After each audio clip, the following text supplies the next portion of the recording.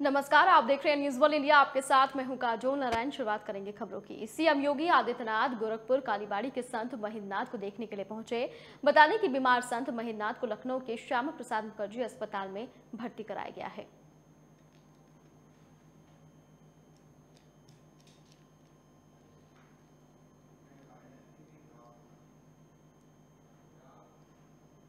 हिजाब मामले में सुप्रीम कोर्ट के दोनों जजों की राय अलग अलग सामने आ रही है। बता दें कि न्यायमूर्ति हेमंत गुप्ता ने अपील खारिज कर दी तो वहीं जस्टिस धूलिया ने कहा है कि मैंने कर्नाटक हाईकोर्ट के आदेश को रद्द कर दिया और सरकारी आदेश को रद्द कर दिया। बता दें कि हिजाब मामले में सुप्रीम कोर्ट का अलग फैसला अब सीजीआई के सामने रखा जाएगा, जिसको लेकर तमाम प्रतिक्रियाएँ भी सामने आ रही हैं। देखिए, हम शुरू से इस बात को कह रहे हैं कि हिजाब हमारा फंडामेंटल राइट और हमारा मजहबी हक है। और यही बात आज जस्टिस धूलिया साहब ने भी अपने फैसले में कही है। और मुझे लगता है कि जस्टिस धूलिया साहब ने जो बातें कही हैं, वो आन कानून के मुताबिक और संविधान के मुताबिक हैं। और हिजाब के ताल्लुक से यकीनी तौर पर इन बातों को कतई तौर पर नज़रअंदाज नहीं किया जा सकता है। हिजाब का ताल्लुक मज़हब से भी है और हमारे बुनियादी हकूक़ से भी है। और हमारा बुनियादी मकसद यही है कि किस के बच्चों को आला से आला तालीम से आरास्ता किया जाए। हमारे देश में दो तरह की सोच है। एक कट्टरपंथी सोच है, जो एक विशेष दल से जुड़े लोगों की है, और वो कट्टरपंथी सोच ये कहती है कि स्कूलों में जो मुस्लिम बच्चियाँ हैं, वो हिजाब पहनकर नहीं आ सकती। बैन लगना चाहिए। और जो सेकुलर सोच है सेकुलर से मतलब मैं मुसलमानों की खाली बात नहीं कर रहा हूँ। उसमें हिंदू भी हैं, सिख भी हैं, ईसाई भी हैं, जैन भी हैं, बौद्ध भी हैं। जो सेकुलर सोच है देश की, वो ये कहती है कि सब धर्मों के लोगों को अपने धर्म और अपनी मर्ज़ी से चलने का अधिकार है, जो हमारे भारत के संविधान में है। अभी जो फैसला आया, दो जजों की बेंच ने दिया, उसमें जस्टिस गुप्ता ने जो फैसला दिया है, वो फैसला, वो जो देश की कट्टरपंथी सोच है वो लोग खुश हैं। आज हिजाब मामले में ऑनरेबल सुप्रीम कोर्ट के एक जज साहब ने जो बातें कही हैं कि राइट टू एजुकेशन और राइट टू चॉइस और ये बच्चियों की अपनी चॉइस है कि वो सर कवर करें, ना करें। लेकिन एजुकेशन की रास्ते में कोई रुकावटें नहीं डालनी चाहिए और इन तमाम बातों को हम लोग वेलकम करते हैं। और जिस तरीके से मामला लार्जर बेंच को रिफर किया गया है तो हम लोग ये एक्सपेक्ट करते हैं कि लार्जर बेंच जो हिजाब का जो मजहबी एंगल है, उसको सीरियसली ज़रूर कंसिडर करेगा और वो एंगल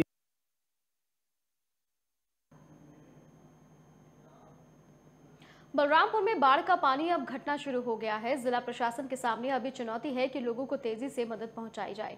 वहीं लोगों का कहना है कि उन्हें जल्द से जल्द मदद दी जाए। सारी गृहस्थी और अन्य चीज़ें बाढ़ के पानी में डूब गई हैं और खराब हो गई हैं। एनएच 730 अभी खुला हुआ है। वाहनों का आवागमन शुरू हुआ है। यहाँ पे भैया बहुत परेशानी आ रही है हम सबको। बहुत ज़्यादा बाढ़ आ गई थी तो बाढ़ की वजह से सबके घर डूब गए हैं, डूबे डूबे पड़े थे। सब जो सर सामान हमारा था, सर सामान सब डूब पड़ा है, सब बह रहा है ऐसे पानी में। न खाने पानी का न समस्या बहुत ज़्यादा बढ़ गई है। न बच्चे उठे सब भूखे भूखे मर रहे थे सब। ना कोई यहाँ पे ना खाना, ना पानी, ना कुछ भी नहीं। दूध वगैरह कुछ भी नहीं आया यहाँ पे ना खाना पानी आया, ना कुछ नहीं आया। कल ऐसे हम सब किसी हिसाब से काटे हैं, गुजारे बिना पन्नी का, उसमें सब गुजारा मिले।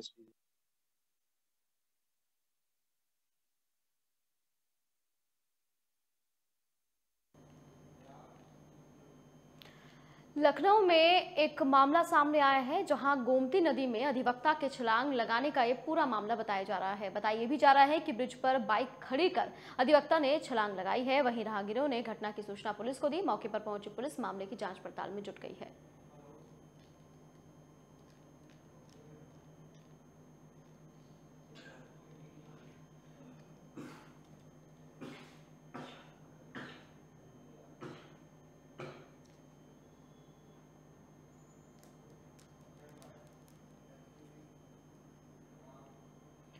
लगातार चार दिनों से बारिश होने की वजह से माँ दुर्गा मूर्ति का विसर्जन कमेटी के द्वारा नहीं कर पाए और आज विधिवत धूमधाम और हर्षोल्लास के साथ दुर्गा माँ का विसर्जन नगर क्षेत्र में झांकी के रूप में दुर्गा मंदिर परिसर से नगर के कई क्षेत्रों का दौरा करते हुए धर्मनगर जलाशय में माँ दुर्गा का विसर्जन किया गया। इस दौरान नगर पंचायत चेयरमैन सीमा सरकार ने कहा कि लगातार चार दिनों से बारिश होने की वजह से विसर्जन की प्रक्रिया नहीं हो पाई थी। आज धूप निकली, विधिवत धूमधाम के साथ विसर्जन किया गया।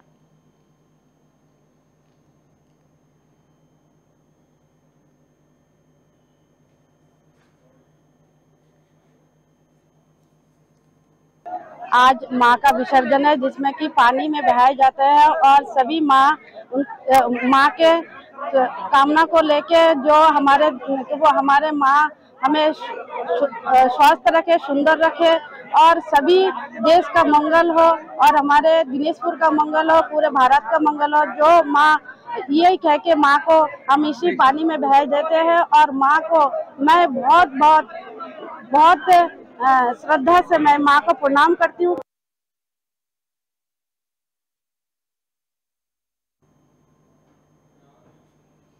बुलंदशहर में निर्माणाधीन कल्याण सिंह राजकीय मेडिकल कॉलेज के भवनों का स्थलीय निरीक्षण किया गया। बता दें कि यूपी शासन के प्रमुख सचिव, चिकित्सा, शिक्षा विभाग आलोक कुमार द्वारा जनपद बुलंदशहर में निर्माणाधीन कल्याण सिंह राजकीय मेडिकल कॉलेज के भवनों का स्थलीय निरीक्षण किया गया। उन्होंने निर्माण कार्यो की डीपीआर के आधार पर कराए जा रहे कार्यो की जानकारी हासिल करते हुए कहा की निर्धारित समय सीमा के अंदर निर्माण कार्य को गुणवत्ता के साथ पूर्ण किया जाए। सुनिए क्या कुछ कहा। तेईस, चौबीस जो एकेडमिक सेशन है, उसमें हमें मेडिकल कॉलेज चालू करना है। जिला अस्पताल के संचालन में और मेडिकल कॉलेज के संचालन में कुछ अंतर होता है। मेडिकल कॉलेज में विभाग मेडिसिन सर्जरी और गायनी पीडिया सबको अलग अलग और एक यूनिट में जैसे 30 बेड का यूनिट होता है। अब जैसे इमरजेंसी में 30 बेड का चाहिए आज यहाँ इमरजेंसी में देगा सिर्फ़ आठ बेड तो अब हमें अपने अस्पताल को रीअरेंज करके मेडिकल कॉलेज के तरीके से उसको अरेंज करना है ताकि इंस्पेक्शन में हम फेल ना हो। तो हमने ये सजेस्ट किया है कि जो सीएमएस जो यहाँ के हैं वो प्रधानाचार्य और सीएमओ साहब से निर्देश दिया है कि मेरठ मेडिकल कॉलेज या एटा मेडिकल कॉलेज का भ्रमण करना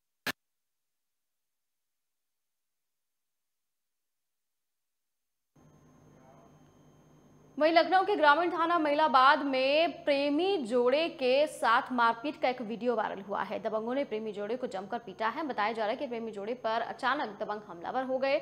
इतना ही दबंगों ने गाली गलौच और मारपीट करते हुए प्रेमी युगल का वीडियो भी बनाया। वहीं पुलिस द्वारा चार लोगों पर कार्रवाई की गई है।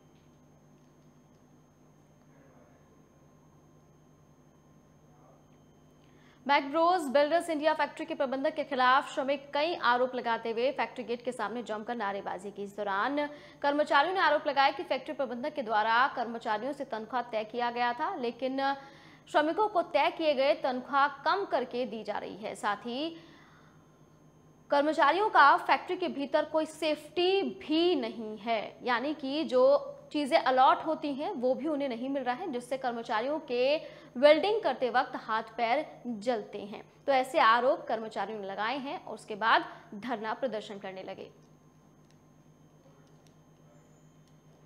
ये काम करने आए ना तो जैसे हमारे बिल्डर भाई लोग हैं, हम लोग ग्राइंडिंग करते हैं तो ना हमें कोई सेफ्टी शूज़ मिल रहा है, ना कोई हेलमेट मिल रहा है, ना कोई गूगल्स मिल रहा है। तो हमें आँख में जाती है तो हम अगर बोलते हैं कि, सर, कोई दवाई दे दो, या हमें छुट्टी दे दो, आँख में लाइट लगती है, हमें प्रॉब्लम होती है आँख के लिए।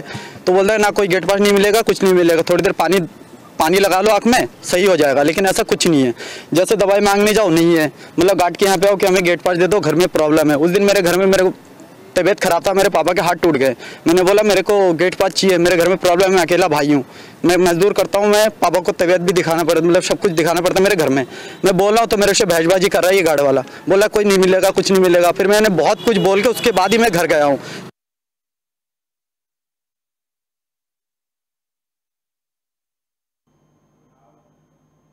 पीलीभीत में एक बुज़ुर्ग महिला ने अपने ही भतीजे पर धोखाधड़ी कर लाखों रुपए की कीमत के मकान का बेनामा कराने का आरोप लगाया।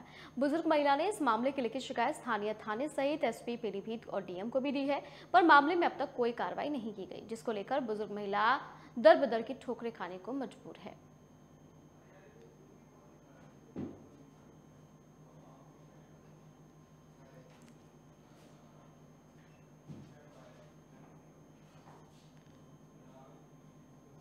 मैनपुर थाना बरनाहल और स्वात टीम ने अवैध शस्त्र फैक्ट्री का भंडाफोड़ किया। पुलिस ने अवैध हथियार की फैक्ट्री संचालक राकेश को एक दर्जन तमंचे और अवैध शस्त्र बनाने के उपकरण सहित गिरफ़्तार किया है।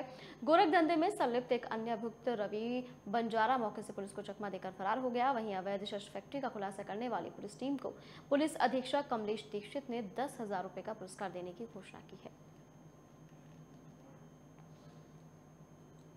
आज बरनाहल पुलिस और स्वाट टीम द्वारा एक अवैध शस्त्र फैक्ट्री, जो राकेश पुत्र राम रूप द्वारा संचालित किया जा रहा था, पकड़ा गया। इनके कब्जे से तेरह तमंचे बरामद हुए, शस्त्र बनाने के सारे उपकरण बरामद हुए और इसके साथ एक रवि बंजारा है, वो मौके से फरार हो गया जिसकी तलाश की जा रही है।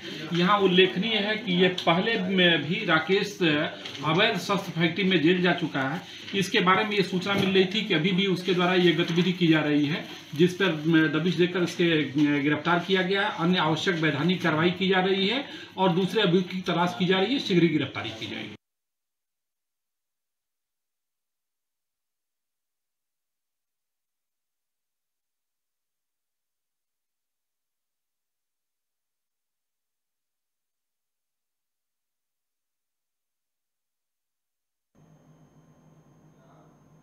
बुलंदशहर में थाना गुलावटी पुलिस की बाइक सवार बदमाशों से मुठभेड़ हो गई। बता दें कि क्रॉस फायरिंग में गैंगस्टर एक्ट में वांटेड चल रहे अपराधी मुनफैद उर्फ़ भुट्टो का घायल अवस्था में अस्पताल में भर्ती कराया गया। बता दें कि आरोपी के पास अवैध असलाह, कारतूस और एक बिना नंबर की अपाचे बाइक बरामद की गई।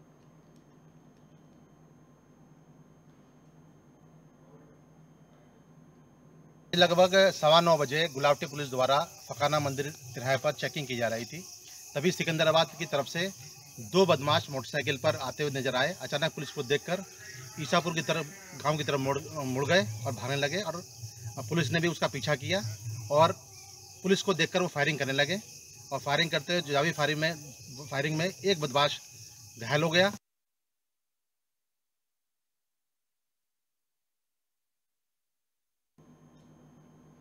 उत्तराखंड में अंकिता भंडारी मर्डर केस में लगातार महिला अपराध के मामले खुलकर सामने आ रहे हैं। श्रीनगर में भी ममता बहुगुणा करीब तीन साल से लापता है। ममता के परिजनों का कहना है कि पुलिस ने मामले की जाँच सही से नहीं की है और मामले की लीपापोती करने में जुटी है। पुलिस प्रशासन के ऊपर राजनीतिक दबाव है। उन्होंने सरकार से मामले की सीबीआई जाँच कराने की मांग की है।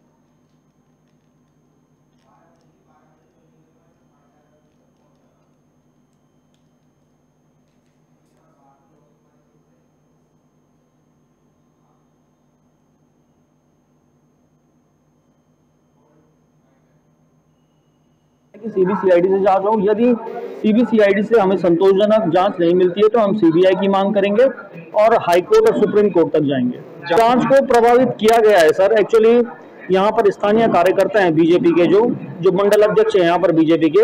उनके द्वारा जो यहाँ के मान्य विधायक हैं, उनको गुमराह करने की कोशिश की और उन्होंने मतलब उनसे गुमराह करके नरेंद्र बिश जो था यहाँ पर कोतवाल, उसको फ़ोन करवाया उन्होंने। क्या कुछ कि मामला में कार्रवाई ना हो इस तरीके का हाँ ये दबाव बनाया गया कि इस मामले को आप देख लीजिएगा इस तरीके से बातें हुई थी इस। उसके बाद क्या कुछ ठोस कार्रवाई हुई नहीं? कुछ नहीं हुआ सर। जब हम लोग थाने में जाते थे तो ये लोग उल्टा हमें डरा धमका कर हमें भरा बुला कहकर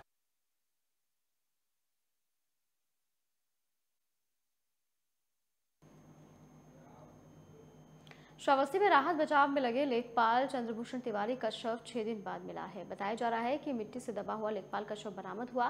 वही घटना की सूचना पर ज़िले के अधिकारी पहुँचे और पुलिस ने शव को कब्जे में लेकर पोस्टमार्टम के लिए भेज दिया।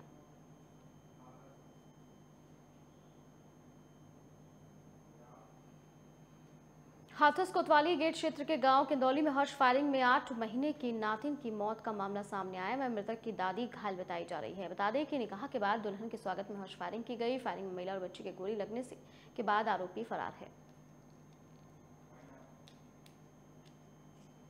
और इसी के साथ फ़िलहाल खबरों में इतना ही। बाकी खबरों के लिए आप बने रहिए न्यूज़ वन इंडिया के साथ।